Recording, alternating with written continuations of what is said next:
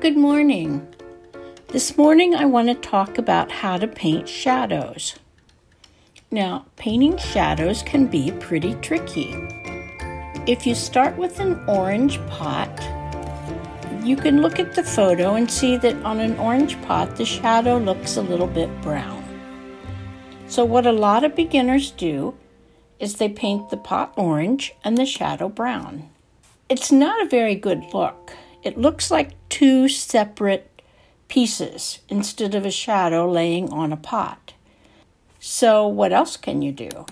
You could paint the pot first and dry it, and then paint the shadow on top.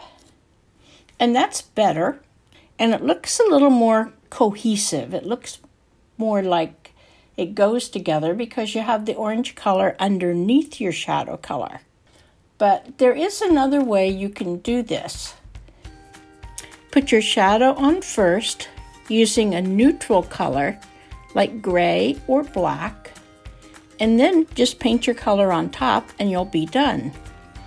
So I want to show you how to do that.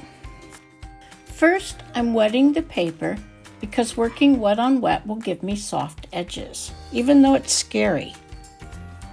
And then I mix my dark blue and dark brown to make a neutral gray, and I test it by putting a small brush, just a little bit of paint on there, and see how far it's going to spread. Now notice I'm not going all the way out to the outer edge.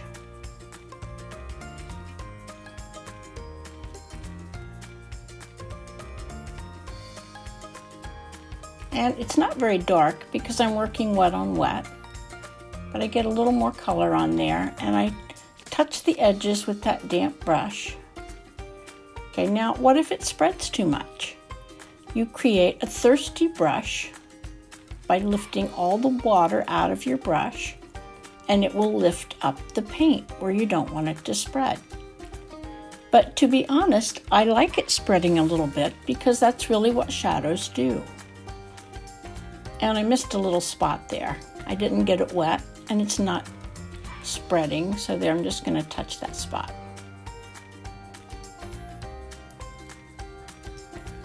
So this is a great way to put your shadows on so you get soft edges. And then once you dry that, you can just put your color right on top. It lets you just work on the shadow. You can only concentrate on one thing at a time. And you don't have to worry about mixing complementary colors or anything else. So you can see how it looks.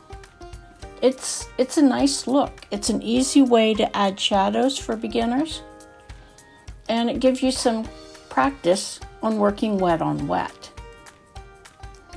Now I'm taking that same thirsty brush while this is still wet and I'm going to lift up some highlights.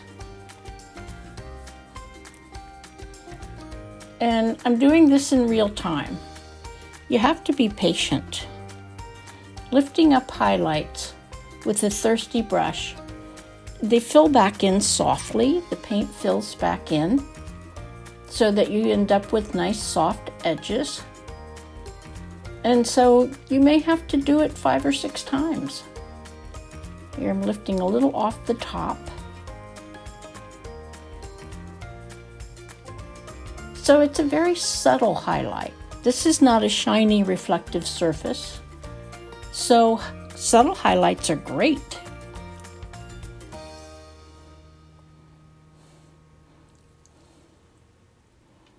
So take your time, concentrate on your shadows first, then your color, then your highlights. And I hope that one, two, three method gives you great results too. And now let's Let's compare this to the first two methods. See how much nicer it looks when you can work wet on wet? And if you use a gray for your shadows, you don't have to worry about what color to mix your shadow, which when you're a beginning watercolor, that, that can be tricky.